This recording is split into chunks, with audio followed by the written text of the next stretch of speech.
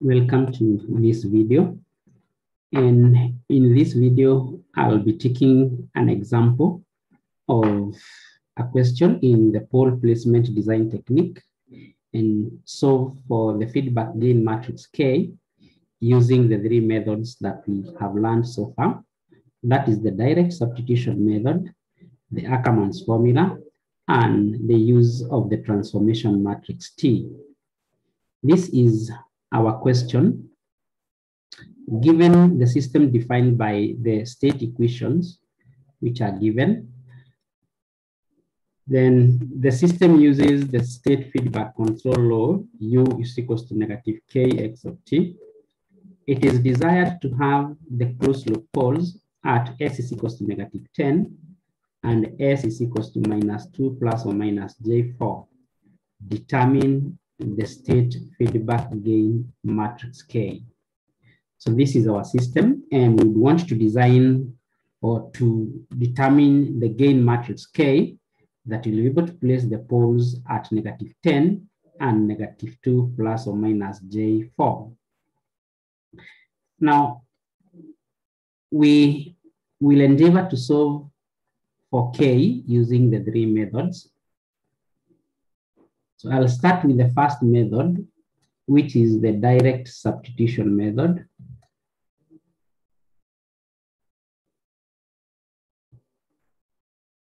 The direct substitution method.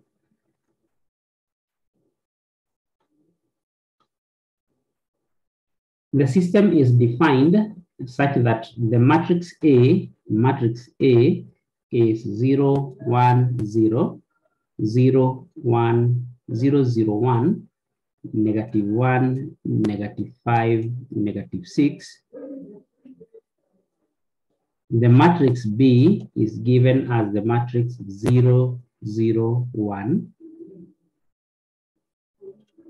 Remember in the pole placement design, we are not going to use the matrix C.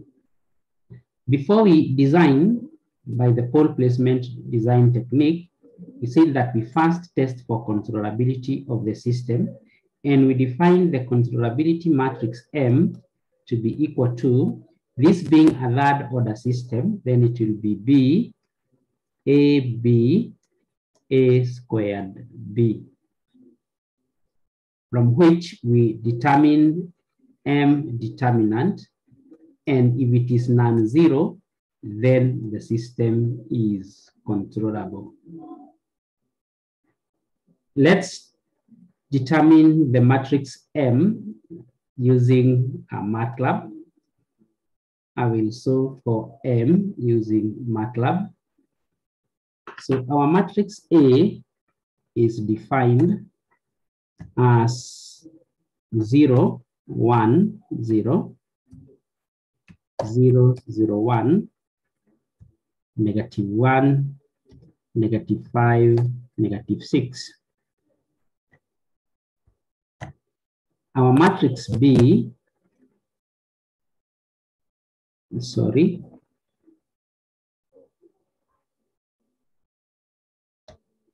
that is our matrix A. Our matrix B is defined as 0, 0, 1. M is defined as the matrix B, AB, and then A squared B.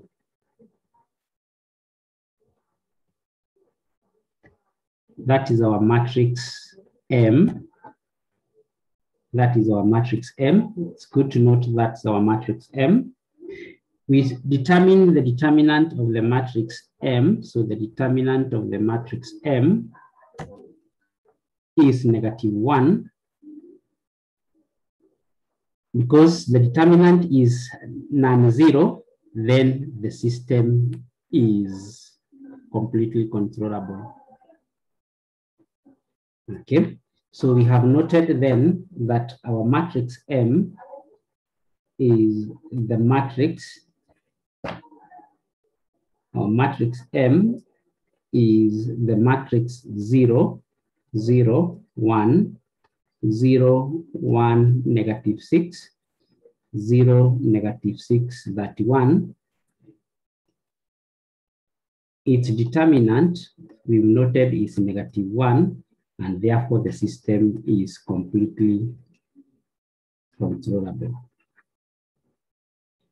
Next, because this is a third order system, we define K to be the matrix K1, K2, K3. The desired characteristic equation, the desired characteristic equation, the desired characteristic equation of the system can be obtained as follows.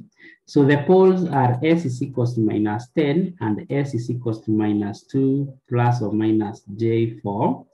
That means the characteristic equation will be S plus 10 into S plus 2 minus J4 into S plus 2 plus J4 is equals to 0. If we expand this, we get S plus 10 into S plus 2 squared minus J4 squared is equals to 0, which will yield yes, S plus 10 into S squared plus 4S plus 4 plus 16 is 20 is equals to 0, which will give us S cubed plus 14S squared plus 60S plus 200 is equals to zero. We can call that equation one. That is the desired characteristic equation based on the location of the poles. The characteristic equation of the system from the model or from the controller is given by Si minus A plus BK determinant is equals to zero. We first determine Si minus A plus BK. Our BK will be the matrix 0, 0, 1, multiplied by K, which is K1, K2, K3. And this one will give us 0, 0, 0, 0, 0, 0, K1, K2, K3. Our matrix Si minus A will give us S0, 0, 0, S0, then 0, 0, S, that is Si, minus the matrix A, which was 0, 1, 0, 0, 0, 1, minus 1, minus 5, minus 6, plus bk, which is 0, 0, k1, 0, 0, k2, 0, 0, k3. All these, the determinant is equal to 0. From which we notice that we have s minus one, zero, and we'll have zero s 1, then we'll have k1 plus 1. This will be k2 plus 5. And this will be s plus k3 plus 6 determinant is equals to 0 the determinant will give us S into this S and then into the product here will give us S squared plus K3 plus 6S plus K2 plus 5 minus But because this is negative, so it will be plus into, so the terms here are zero, cross this and this, uh, this will be zero, minus minus, that's plus k1 plus 1 is equals to 0, which upon expansion will give us s cubed plus k3 plus 6 s squared plus k2 plus 5s plus k1 plus 1 is equals to 0. And you can call this equation 2. Equations 1 and 2 are the characteristic equation of the system based on the desired location of the poles from equation 1 and based on the controller or introduction of the controller into the system.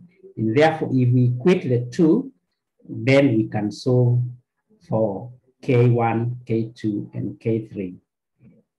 The characteristic equation of the system from this is s cubed plus 14s squared plus 60s plus 200 is equals to 0. So I compare the two. This is s cubed plus 14s squared plus 60s plus 200 is equals to 0. If I compare the constants in the two cases, then K1 plus 1 is 200, and therefore K1 will be equal to 199. I compare the coefficients of S in both cases. K2 plus 5 is 60, from which K2 will be 55. Finally, the coefficients of S squared will mean K3 plus 6 is equals to 14, from which K3 is equals to 8. And therefore, our K is the matrix K1, 199, K2, 55, and K3, 8. And this is the required feedback gain matrix K that will ensure that the poles of the system are located at the specified locations. And that is by use of the first method, which is the direct substitution method. Method number two is by use of the Ackermann's formula. By use of the Ackermann's formula. By use of the Ackermann's formula, this being a third order system, then K will be defined by zero zero, one, multiplied by m inverse, multiplied by phi of A. So our matrix M, we have already determined M, which is B, AB, A squared B. This one has already been evaluated. Our phi of A, we determined phi of A from the characteristic equation of the desired system from this equation. This is the desired characteristic equation. Where there is S, we substitute for S is equals to A. And therefore, phi of A will be obtained as follows. It will be S cubed, sorry, A cubed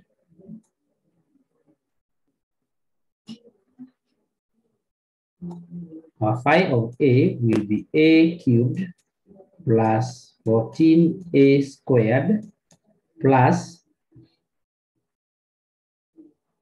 60A plus 200I is our phi of A, where A is defined as the matrix 0, 1, 0, 0, 0, 1, minus 1, minus 5, minus 6.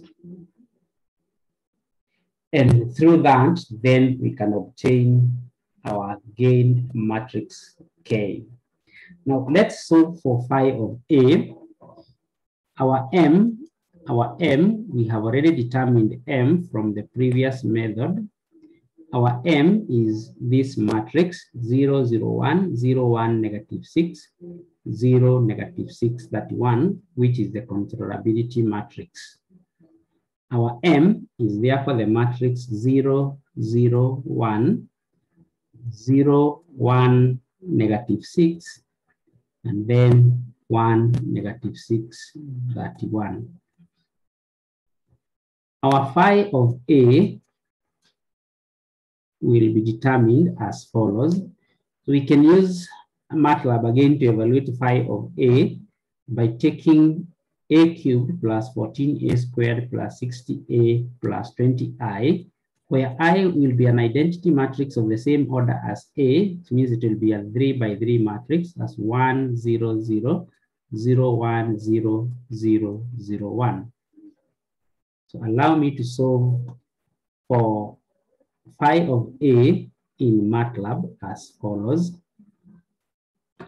My A is already defined. My A is already defined as that matrix. I define the matrix I, which is an identity matrix of order 3 as 1, 0, 0, 0, 1, 0, and then 0, 0, 1.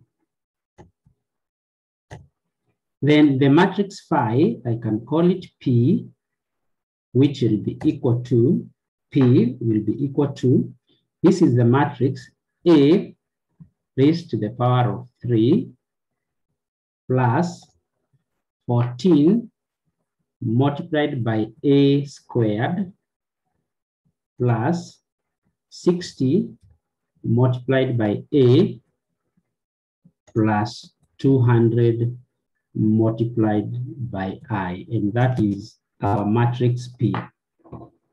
That is our matrix P.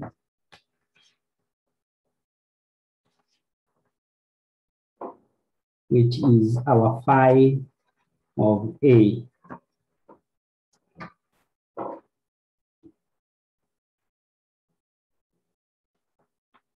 Okay, so we can copy that matrix into our example or our illustration. Our phi of A,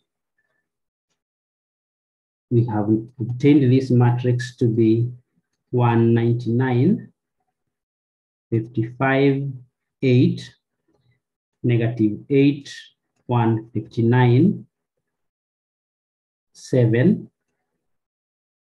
negative 7, negative 43, and 117. That is our phi of A.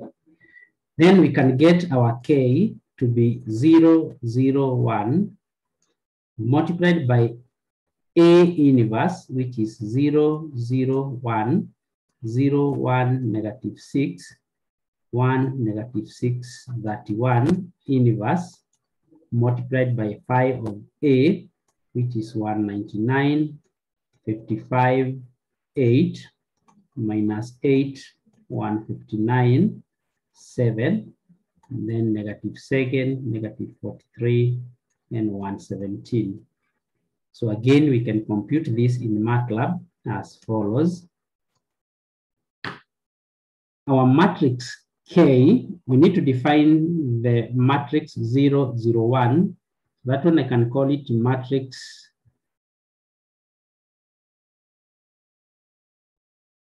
I can say K is equals to the matrix 0, so the matrix 0, 0, 1, multiplied by the matrix M inverse, so inverse of the matrix M, multiplied by phi of A, which is P. And that gives us our K that gives us our K, which is 199, 55, 8. So we've noted then that our K is similar to what we obtained previously as 199.55.8. And that is by use of the Ackermann's formula.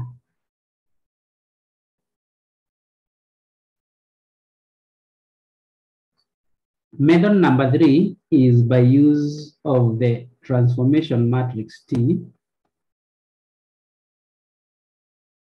By use of the transformation matrix T. Okay. For us to use the transformation matrix T, we are required first to determine the controllability of the system. Controllability of the system. And we noted that M determinant is not equal to zero, and therefore the system is completely controllable. That is the first test that we check, that the system is completely controllable by evaluating the determinant of the controllability matrix M. Number two, we determine the characteristic equation of the matrix A as Si minus A determinant is equals to zero. And we said that this will be a polynomial in S with coefficients AI. So our Si minus A determinant will evaluate to the following. It will be S 0, 0, 0 S 0, 0, 0 S. We subtract the matrix A minus the matrix A, which is 0, 1, 0, 0, 0, 1, negative 1, negative 5, negative 6.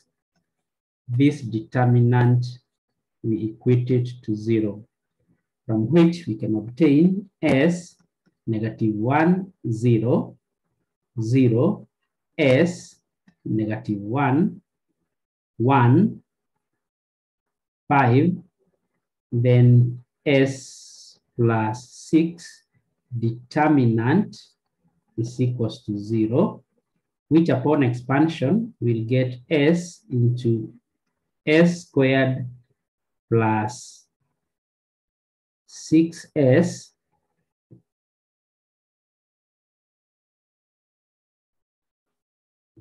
sorry. This is s squared plus 6s and then plus 5 minus minus 1, so plus. Then this will give us 0 plus 1 is equals to 0, from which we can get s cubed plus 6s squared plus 5s plus 1 is equals to 0. We compare this with a third order polynomial in S as s cubed plus a1s squared plus a2s plus a3 is equals to 0, where a3 will be equal to 1, a2 will be equal to 5, and a1 is 6. That is the characteristic equation of the matrix A. Next, number three, we are supposed to determine the transformation matrix T, which is given by MW. We said that T is given by MW, but if the system is already in controllable canonical form, then the matrix T is equals to I. I'd want us check and confirm that the system is written in controllable canonical form. This was our system. Notice in controllable canonical form, the first term is zero, then one, zero. The second row is zero, zero, one. And then the last row is the row of the negated values of the coefficient of the characteristic equation of the matrix A. And we have noted that these are the coefficients of the matrix A, negative, that is 1, 5, 6, 1, 5, 6 in that order. These are the 1, 5, 6, which are the coefficients of the characteristic equation of the matrix A, and therefore we can show that the system is already written in controllable canonical form.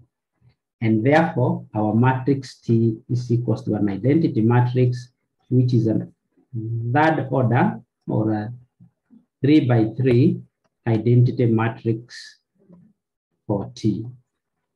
We can also solve this by determining MW, we first determine the matrix W. We said that the matrix W will be evaluated for a third order system as follows. Our W will be the matrix A2, A1, 1, A1, 1, 0, and then 1, 0, 0. That is our matrix W, which we can write as, then we determine the values of A2 and A1 as 5 and 6. So this is going to be 5, 1, 1. A1 is 1, 1, 0, 1, 0, 0. That is our matrix W. We can feed this matrix W into MATLAB and solve for T, which is equals to MW, where M, M was defined as the matrix, take you back again, the matrix M was defined by 0, 0, 1, 0, 1, negative 6, 0, negative 6, 31. So we can feed those matrices. I want us to feed the matrix, the matrix W, which is 5, 1, 1, 1, 1, 0, 1, 0, 0, into MATLAB as follows.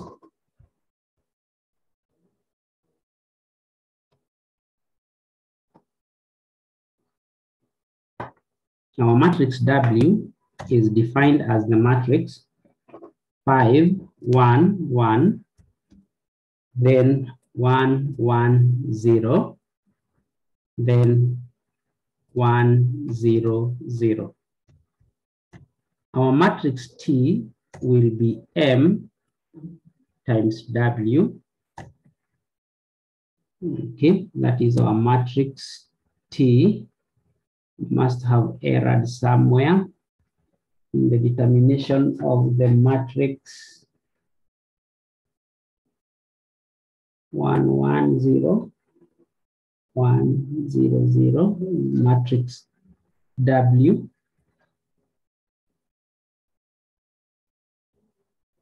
Okay, let me take you back. Check for the matrix W.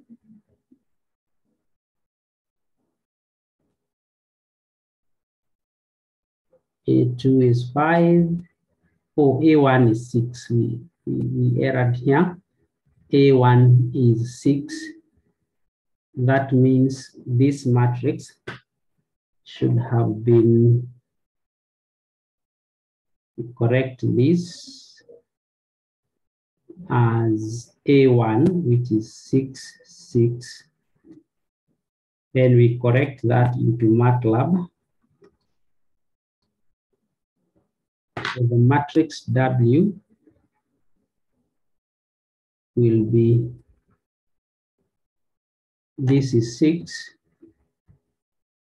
this is six, that's our matrix W, and then we evaluate T. And as you can see, T is an identity matrix of order three, since the system is already written in controllable canonical form.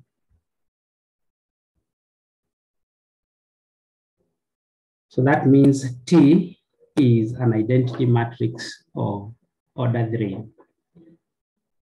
The next step, step number four, is to determine the desired characteristic equation from the specification of the poles of the system. We noted that the desired characteristic equation of the system is S plus 10 into S plus 2 squared minus j4 squared is equals to zero, which evaluated to s cubed plus 14s squared plus 60s plus 200 is equals to zero, which we can compare to a polynomial in S with alpha i as the coefficient as s cubed plus alpha 1 s squared plus alpha 2s plus 200i is equals to zero. where alpha 1 is 14, alpha 2 is 60, and alpha 3 is 200. Okay, then our matrix K is defined by alpha 3 minus A3, alpha 2 minus A2, alpha 1 minus A1 multiplied by T inverse. But because T is an identity matrix, the inverse of T will still be 1. And therefore, our K will be equal to alpha 3 minus A3. Alpha 3 is 200.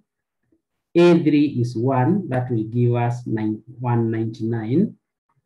Alpha 2 is 60 minus A2. A2 is 5. That will give us 60 minus 5, which is 55.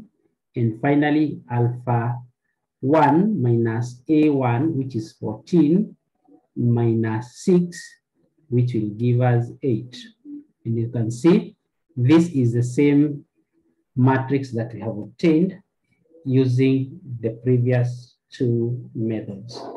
And that is the solution of the gain feedback matrix K using the three methods, that is the direct substitution method, the Ackermann's formula, and the transformation matrix T method as discussed previously. Otherwise, that is the end of my presentation, and thank you for watching this video.